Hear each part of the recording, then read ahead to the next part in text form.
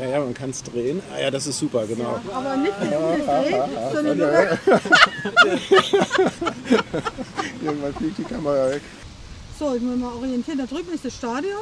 Genau, wir haben hier alles in fußläufiger Nähe. Stadion, das Hauptgelände des KIT, da, Da steht auch grad, KIT drauf.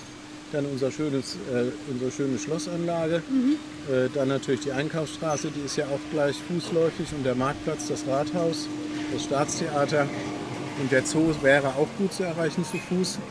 Deswegen müssen wir unsere Innenstadt-Marketing-Konzeption darauf aufstellen, dass wir im Grunde alles, wozu man in anderen Städten irgendwann mal hinfahren muss, kann man hier zu Fuß gut erreichen. Oder mit dem Fahrrad. Oder mit dem Fahrrad, das ist natürlich optimal, das ist ja klar. Ja. Heimat ist, glaube ich, immer da, wo man sich ein bisschen auskennt, sodass man sich äh, doch ein Stück weit äh, berechenbar geborgen fühlt und wo man Leute hat, mit denen man, von denen man sich wertgeschätzt fühlt.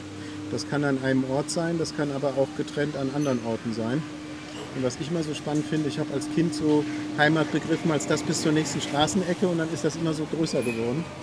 Äh, je nachdem auch wie größere Freiheitsgrade man sich selbst dann quasi äh, erarbeiten oder entwickeln Wo konnte. kommst denn du her? Du hast so eine schöne Sprache. Du redest so wie im Ich komme aus. Mannheim. Okay. Ich kann das auch, wenn es sein muss, aber ich, ich bin da nicht so gut. Seid ihr schon Riesenrad gefahren? Ja, ja.